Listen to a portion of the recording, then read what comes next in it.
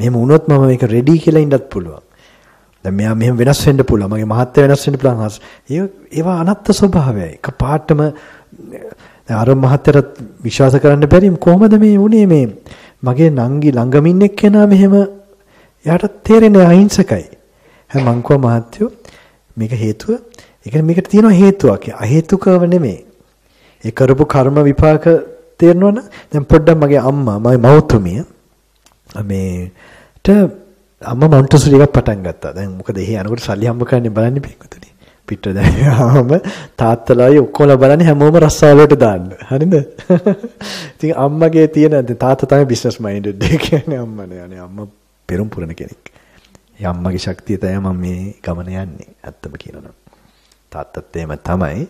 හැබැයි ආ ප්‍රැක්ටිකල් හිටියේ නැත්නම් අද අපි එහෙම අධ්‍යාපනයක්වත් ලබන්නේ කොහොම හරි අම්මා මොන්ටසෝරියක් එක එයා මෙයා කරන් ඒ තාත්තා උදව් වුණා.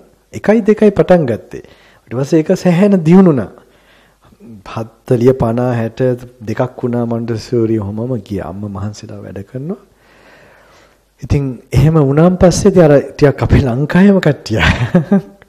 දන්නේ නැද්ද ඒ කියන්නේ ඒක මොකක් හරි ඊර්ෂ්‍යාව කියන එක මේ මොන්ටසෝරි තිබ්බ කට්ටියක් එක එක තර්ජන ආවා. ඒ කියන්නේ අපේ තාත්තත් අනිත් පැත්තට මම පොඩි කාලේ ගහන ජීන්ස් ආවේ තාත්තගෙන් වෙන්න ඇති. ඒ කියන්නේ ඉතින් මේ මොකද්ද තාත්තගේ ඉතින් තාත්තට එකට එකක් දැන් ටෙලිෆෝන් වලින් කවුරු හරි මොනවා හරි ඔත්තු කියන්න හරි මොනවා හරි නිකන් ඉන්සල්ට් කරන්න ටෙලිෆෝන් කෝල් එනකොට තාත්තා අනිත් පැත්තට මම හිතන නරක වචන වලින් උත් බැන්න තියෙනවා. ඉතින් තාත්තට බයයි ඉතින් තාත්තා ඉස්සර පොඩ රැවුලකුත් එක්ක. ඉතින් නිකන් මේ නේවි එකේ වගේ කොහොම හරි දැන් මෙහෙම වුණා අම්මට. අම්මා අහිංසක කෙනෙක්. අම්මා කිසි වැරද්දක් කරන කෙනෙක් නෙමෙයි හීනෙකවත් නැතර මෛත්‍රිය මම අම්මගෙන් ඉගෙන ගත්තේ. පොඩි කාලේ මම දැක්කා. යාගේ යෝගී මේකක් තිබ්බා. පොඩි කාලේ මට ටිකක් ලැජ්ජයි මං හිතුනේ මේ ගෑනු කට්ටිය කරන එකක් මේක කියලා මෛත්‍රී භාවනාව. ඇත්තටම. ඒකයි මම අර දඟ ගතියට ආවේ මේ මේ ගෑනු කට්ටිය මේ මේ සූපත් එත්වා එහෙම එහෙම. ඉතින් පොඩි කාලේ මට එහෙමයි තේරුනේ. හැබැයි අම්මගෙන් ඒක මට වැදුනා මං හිතන්නේ. ඒ ඇඳ මිට්ට මේ මට අද වගේ මැවිලා පේනවා. එයා එහෙම මෛත්‍රිය පතුරවන හැටි. මට හිතනකොට පින්වතුනි 아무තු මේකක් එනවා. ඇත්තටම මට නෙමෙයි වඳින්න ඕනේ උත්තමියට. ඒ උත්තමියයි කෙනෙක් එහෙම හිටියේ නැත්නම් අද මෙහෙම මට මේක මෙහෙම කරගෙන එන්න බැරි වෙනවා. ඔයගලන්ටත් පොඩ්ඩක් හරි එක බිඳක් කොහොමද මේ 아무තු අద్භූතයක් නියම මෛත්‍රියක තියෙන අద్භූතභාවයක් පින්වතුනි. ඒකට මොනවත් නවත්තන්න බෑ. ඒක බලයක් තියෙනවා.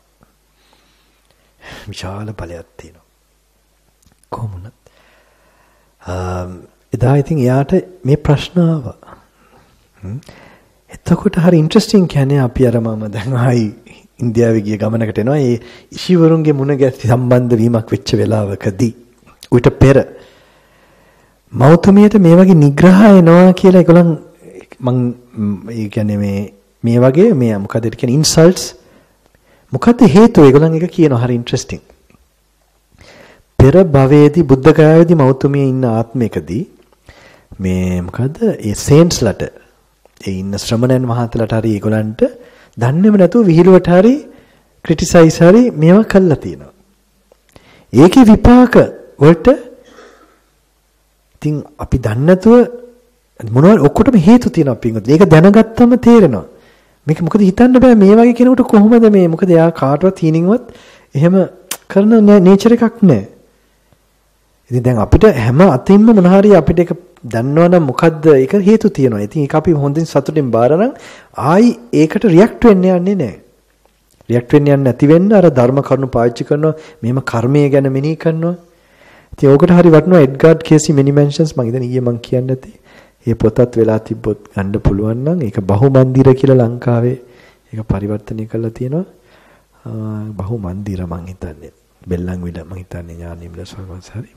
ඒ ඒ බෑග්ග්‍රවුන්ඩ් නොලෙජ් උත් හරි වටිනවා ඒවා. අපිට ඒතර ඕන එකක් ලේසියෙන් දරාගෙන ඇක්සෙප්ට් කරලා බණ භාවනාවක යෙදෙන්න ලේසි. නැත්නම් ඇයි මට මෙන්නේ කියලා Tamanට ද්වේෂයක් ඇති වෙනවා. ඇයි මෙයා මට කරන්නේ? ඒවා ඔක්කොම બ્લોක් කරනවා අපේ මාර්ගය. ඔව් මෞතුමිය මතක් කරනකොට හයියක් එනවා මට. ඒක මහා විශාල ශක්තියක්. මේක කියන්නේ මේම වඩිනවා කියලා පණිවිඩය ඇරියමත් කිව්වා. ඔව් ඒක මගේත් බලාපොරොත්තු ඔබ වහන්සේ අනිත් අයට මේ පිට වෙන එක. ඒක මගේ මං කෝ මගේත් හැබැයි හැම හැමෝම ඒක අධ්‍යාපනයත් වැඩි නෑ පාඩම් කරන්න බෑ මනි මෞතුමියට. ඒ කියන්නේ අනිත් පවුලේ අය ඔක්කොම හරි දක්ෂයි මේකයි. මෙයා හැබැයි දෙමාපියත් එයාගේ සීයාත් අපේ සීයාත් එයාව නිකම්ම තියන්න කියලා. ඒ වගේම මේ ඒ කවදාත් මගේ අම්මා මේකප් අරව මේව මොනවත් පාවිච්චි කරන්නේ. යාට ඒක හිතෙන්නේ නැහැ. ගෑනු කෙනෙක් වගේ නෙමෙයි අතින්. ඔය දා සමාගයට අපි ඉන්දියාවෙම ගියාම අනිත් ආන්ටිලට මං දවසක් උදව් වෙන්න කියලා මං ලොකු ප්‍රශ්නයක වැටුණා. ගිහි කාලේ. ඒ කියන්නේ සාරි බලන්න කියලා. ඇත්තට මම ඒක ඉතින් දන්නේ මාත් අර තරුණ ළමයෙක් හැටියට අර මේ රෙස්පෙක්ට් එකට මේගොල්ලෝ උදව් කරන්න ගියාම මම බැලුවා කොයි කොයි වෙලේද මේ සාරියක් ගන්නෙ කියලා. චයින් චෙන්නයි වල අර ෂොප් එකෙන් මේ ෂොප් එකට මේ ෂොප් එකෙන් අර ෂොප් එකට. ඊට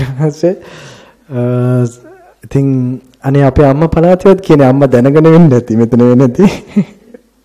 අම්මලා අම්ම කවදාකවත් එහෙම කවුරුහරි අරන් ඇවිල්ලා ඒත් මේ ඇඳුම දුන්න ඕන ඇඳුමක් අඳීවි. අම්මට නිකන් දුන්න එක කොහේ දන්නේ මැච් වෙන්නෙත් නැහැ. ඉතින් සාමාන්‍ය බාහිර කෙනෙක් දකින්නේ මෙයාට පිස්සුද කියලා. ඉතින් දන්න අය දන්නවා. නුවර පැත්තේ ඉන්නේ මේ දවස්වල.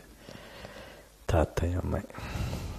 ඉතින් ඒගොල්ලෝ මට හයියක් වුණා. ඉතින් කවදත් එයාගෙන් නමත් නැහැ. ඉතින් දිගට මෙයා දැන් මහණෙන් ලඟ වෙනකොටත් මෙයා කරා මොකද්ද? මම මැරෙන්න ඉස්සෙල්ලා මේ සිවුරෙන් දකින්න ඕනේ කියලා එහෙම මට එනවා කියනවා. ඉතින් එයාගේ අමුතුයි. මගේ පළවෙනි ශිෂ්‍යයා තම මෞතුමිය.